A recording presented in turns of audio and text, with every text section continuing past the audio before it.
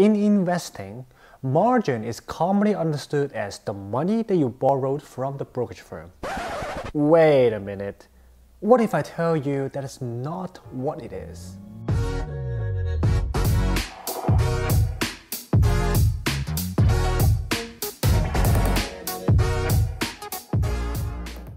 Good morning everyone, my name is Justeen and I'm a designer working in Silicon Valley. Today I will continue to use my design thinking to boil down another concept in finance, margin. After this video, hope you will understand how to use this financial instrument or whether to use it at all and continue to improve your investment strategy. I'm going to cover what margin actually is, why do you want to use it, how do you get started with margin, what else do you need to know about it, and do I use it personally? Let's dive right in. Number one, what it is and why do you want to use it? The real definition of margin is the difference between the total value of investment and the amount that you borrow from the broker. So if you look at the relationship, it's the total value of the investment minus the money that you borrow. What's left over is margin. So margin is not the loan. Margin is the money that you actually have in your brokerage account you use your money and the loan to buy some stocks, which is the total value of the investment. The reason you want to buy on margin is actually very simple. It's a form of leverage, meaning if you make any profit, it will be more. It makes total sense because you are not only using your money, but also somebody else's money. Then of course, your profit will be more in that case. Well, the downside is if you lose, you lose more. And this does not even include the money that you have to pay back to the brokerage firm, as well as any sort of interest that accumulated from borrowing that money. So it can really add up if you lose. Number two, how do you get started with margin? Of course, there's no free lunch. You cannot just walk up to the brokerage firm and say, Yo man, I want to borrow 1 million from you and start to buy some Tesla stocks. First, you have to fill out some forms or paperwork regarding your income level or investing experience, history, that kind of stuff. Once that is done, you need to have something called initial margin requirement. Since we understand margin means your money, initial margin requirement means how much cash you are required to have in your account initially in order to start buying on margin. The Federal Reserve Board, which governs the US central banking system, requires a minimum of 50% initial margin, meaning you have to fund half of it with your own money, the 50%, and then you can borrow the other half, the other 50%. So under this 50% initial margin requirement rule, if you want to buy 100k worth of Tesla stocks, then you have to fund 50k with your own money and you can borrow 50k from the firm. Some brokerage firms will require more than 50%, maybe 60, 70, 75. That just means you can borrow less money. This is mostly for protecting the brokerage firms because if you cannot pay back, well, they lose money. So if the initial margin requirement is 60%, that means you need to fund 60% and you can borrow 40%. If it's 70%, that means you can borrow 30%. If it's 75, then you can only borrow 25%, so on and so forth. So TLDR, this number is just a percentage of purchase you must fund with your own money. Well, this 50% is not the only requirement. The Financial Industry Regulatory Authority, FINRA, a government authorized regulator of brokerage firms, requires that investors must deposit at least $2,000 before trading on margin. And of course, your brokerage firm can require a higher amount. Combining both requirements, which will translate to the following. To start borrowing money and investing ASAP, you need to have $2,000 in your account and borrow $2,000 max. Then you can buy $4,000 worth of stocks. If you have more, you put in 3000 then you can borrow 3000 max and buy $6,000 worth of stocks. Simple math right there. Alright, number three, what do you need to know after you start buying on margin? After you borrow some money and buying your favorite Tesla stocks, you are technically not done here. Because there's one thing you should keep your eye on whenever you start buying on margin, and it's called maintenance margin requirement, or short for maintenance requirement.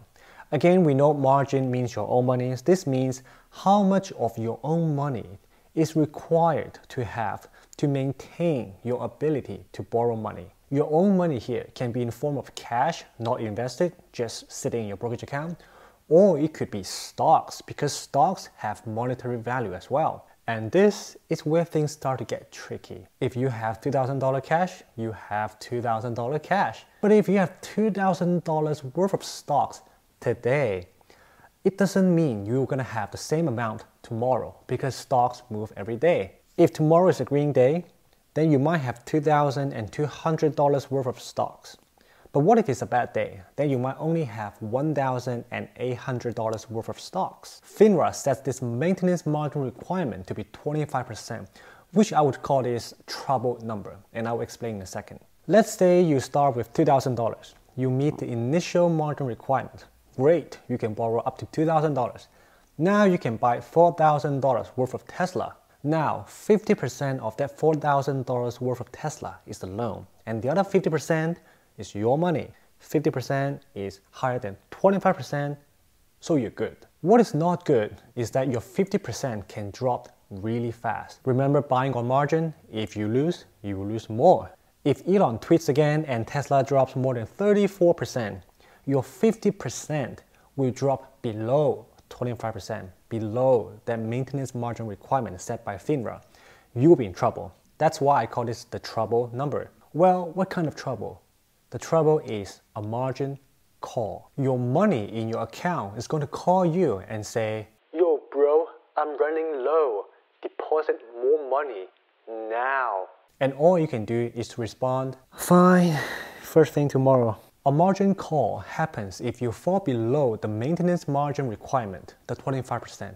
In other words, you broke the FINRA's rule on maintenance requirement. If you're on Robinhood, they will alert you that you're in trouble deposit money to bring the account back to the maintenance margin minimum. But if that initial $2,000 is all of your life savings, then you're in some deep, serious trouble. Because where are you going to get the extra money from?